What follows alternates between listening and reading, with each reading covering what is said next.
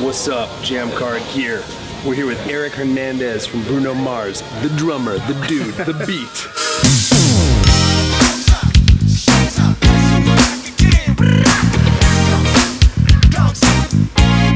Oh man, how you doing, Jammcard? Elmo. Thanks for taking the time out of your insanely busy schedule. It is insane, but I'm actually honored that you guys even want to think of me. So We love you, cool, man. We love you. This is the family. That means a lot. That means So uh, we're at Bruno Mars rehearsals. They're about to leave on a big tour. Yes. And uh, I just want to see your drums, man. As a Okay. drummer, I just want to see your drums. Well, it's not hard to see because they're right here. Da-da-da. Gold on gold on gold. E Panda. Custom. Gnarly baller drum stuff.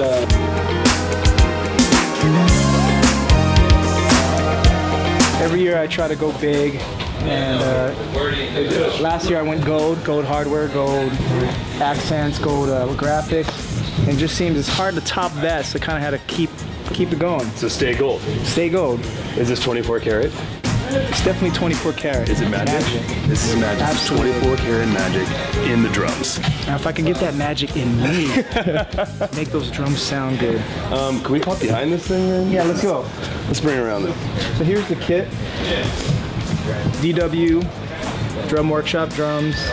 Um, I went with all maple shells on this one. Normally I like to try something new and something innovative. But in talking with my drum tech and, and discussing tones and actually the sound of this album, we decided that the pure maple would be the best fit. Mm-hmm. It's kind of a R&B-ish album, so a lot of sounds I wanted to pull from something right here in the 90s and the 90s kit. So This is the most beautiful kit I've like ever seen. I'm like sitting here like this looks really normal. And this thing is gorgeous, man. I appreciate that. I've never had a gong drum in my entire life. Never had it. Never had a short one. Never had a big one. You know, and I'm jealous. sorry to say that I have a short one, but we're talking the gong drum. And I'm also playing Sabian cymbals. Yes, bro. Wow. Got the HH Thin Crash. You got stuff I ain't got, man. What's up with that? You gotta know the right people. That's all it is. uh, I'll go through the cymbals real quick. Yeah. Uh, we've got the Holy China 17 inch here, Yep. 22 inch heavy ride. It's a HHX. Um, Dave Elitch recommended this to me a long Yep. time ago. That's why I have it too, because of good old Dave. Good old Dave. Shout out to Elitch. What's up, boy? It's my guy.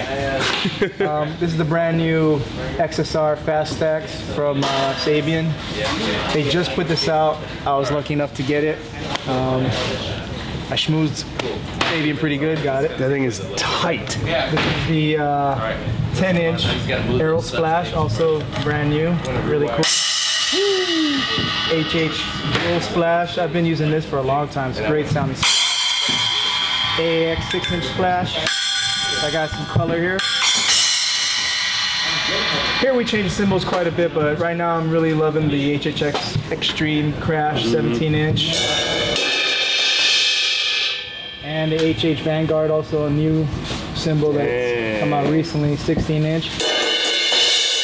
So I might as well let you hear this.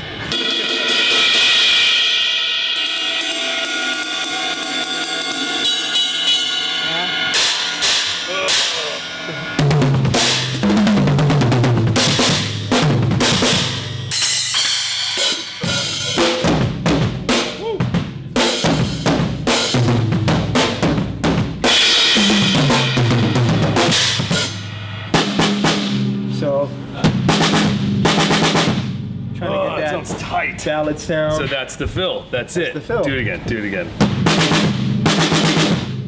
You know that fill. Everybody has to know that. You Phil. know that fill. Everyone knows that fill. Phil 101.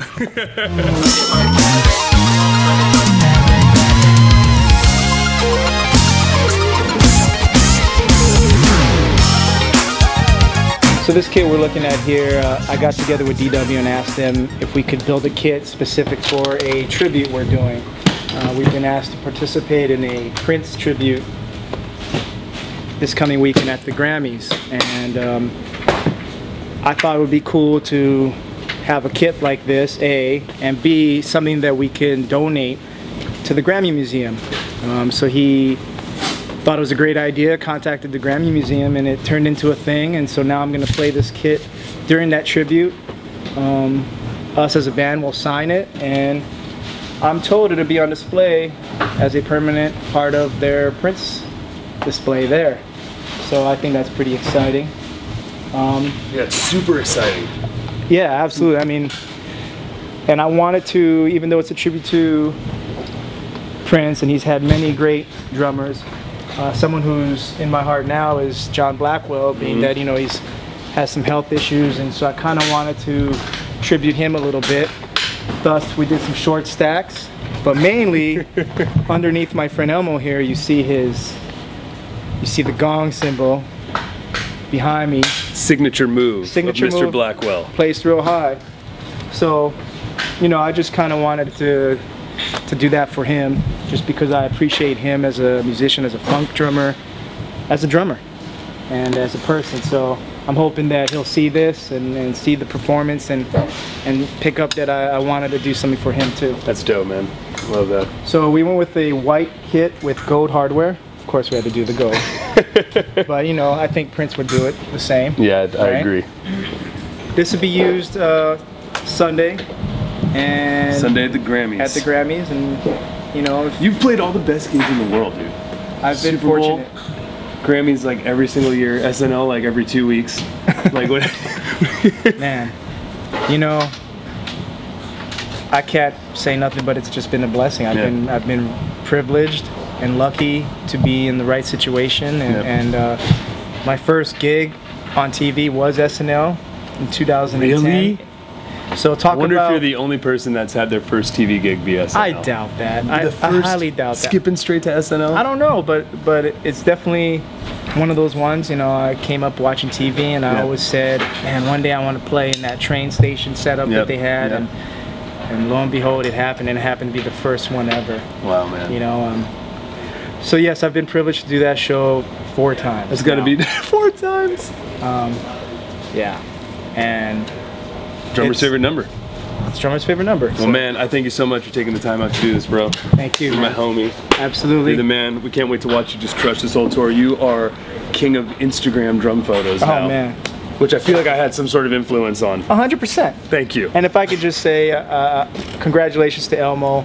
Um, we've been friends for quite some time now, and I remember him telling me about Jammcard, and even before Gear Goggles, and all the ideas, and to see him bring it to fruition, I, I, I applaud you for that. Oh, Because thank one you, thing man. I will say, if I could say one thing as a musician, as a drummer, is always think of of how to monopolize, how to become your own entrepreneur, Mm-hmm. how to brand yourself, and, and he's a testament now, and, and it's it's becoming something, and I think that's awesome. Oh, And, thank you, man. know, I'm still, I'm always trying to think of what's my next play. Right. You know, because as beautiful and glorious as this whole kit may be, it doesn't always live forever. So we got to figure that out. Got to keep it moving. Keep it moving, and you know what? Use your brains, because we got we got smart ideas in, in these heads of ours, and we can count. It means a lot, man. All right. Thank you, bro. I love you. Appreciate it, man. Love you too. All right. Eric, Gear Goggles. Bruno Mars on tour all over the world. Go see it. Peace out, Jammcard.